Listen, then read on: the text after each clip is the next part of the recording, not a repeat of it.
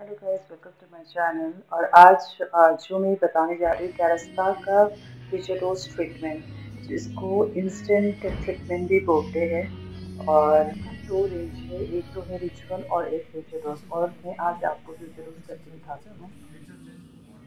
पहले तो हम यहाँ पे कस्टमर के बालों को एनालाइज करेंगे।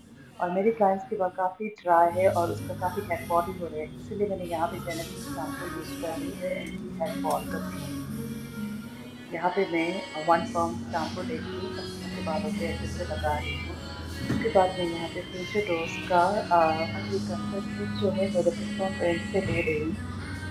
क्योंकि ये बालों को, इसके बाल अनहेल्दी है, इसको स्ट्रेंथ देते हैं इसके लिए। और मैं यहाँ पे पावर जो है कॉन्सेंट्रेट का यूज़ कर रही हूँ। क्योंकि मेरे क्लाइंट का बाल काफ़ी ड्राई है और अनहेल्दी है और मास्क भी मैं वही जिस फैमिली से ही ले रही हूँ। वो आपके बालों को स्ट्रेंथ देके और हेल्दी बनाएँगे उसके लिए। तो आप लेंगे और बालों को अच्छी तरह से लगाइए एंड और उसको आप हल्की से आप five to ten minute massage करेंगे और काफ़ी कस्टमर को रिलैक्स भी होते और बहुत अच्छा भी लगेंगे। मसाज देना ज़रूरी है क्योंकि प्रोडक्ट जो है ना बेनिफिट होना चाहिए बालों को।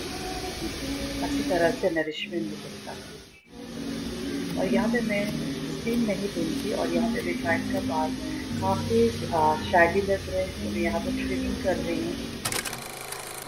यहाँ पे मैंने क्लाइंट के बालों को हेयर कट कर दी हूँ और ये देखिए काफ़ी अच्छा शेप लग रहे और शाइनी लग रहे देखने से ही पता चल जाते हैं कि बालों को कितना अच्छा प्रोटीन मिले हैं न्यूट्रिशन मिले काफ़ी हेल्दी और शाइनी भी लग रहे हैं।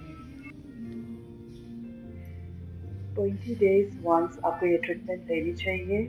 अगर आप इसको अच्छी तरह से फॉलो करते हो तो आपके बाल कभी ड्राई डैमेज और ब्रेकेज नहीं होंगे। तो ये ट्रीटमेंट आप आप ऐड कर सकते हैं जैसे स्किन का ख्याल रखते हो वैसे आप बालों का भी ख्याल स्किन को मेंटेन करते हो उसी तरह से आप अपने बालों को भी मेंटेन करो तो आपके बालों को कुछ प्रॉब्लम इसी तरह से हमारे पास दूसरा रेंज भी है, जैसे कि हेयर फॉल के लिए और ड्राइनेस प्रोटीन है ना? सारे डिफरेंट डिफरेंट है। According to your hair types जब आप सलोन चाहते हो, आपकी स्टाइलिस्ट आपको सजेस्ट करती है। आज के लिए इतना ही। अगर आपको मेरे वीडियो अच्छे लगे हो तो please do like and subscribe Thank you. Bye bye.